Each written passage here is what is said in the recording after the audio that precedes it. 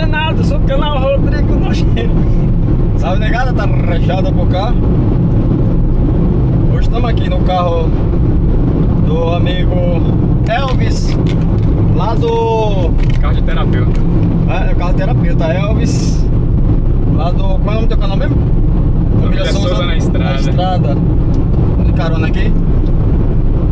E tô fazendo duas Vou fazer duas coisas. Eu vou testar aqui o equipamento novo, configurações e falar um pouco da minha viagem desse ano que vai sair, com fé em Deus. Graças a Deus. Graças a Deus. Viagem já está marcada, o carro já está alugado.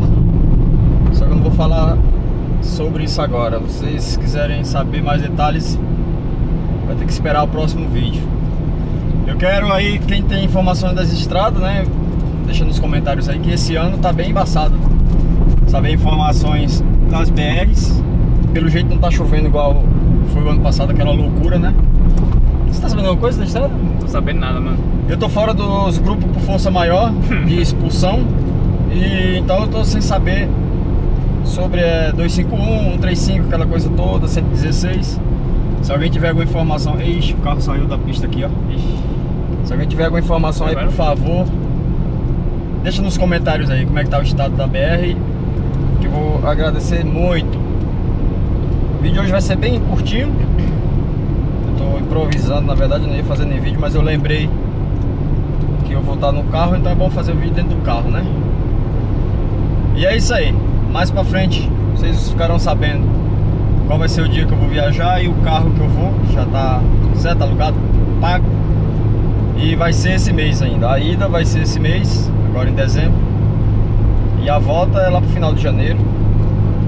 É, ainda não sei também o dia que eu vou voltar. Vou sair 30 dias de férias dessa vez. E então vai ser um negócio meio diferenciado.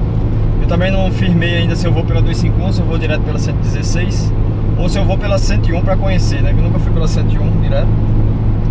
Estamos aí para decidir tudo isso aí. Então, justamente por conta disso que eu queria essas informações.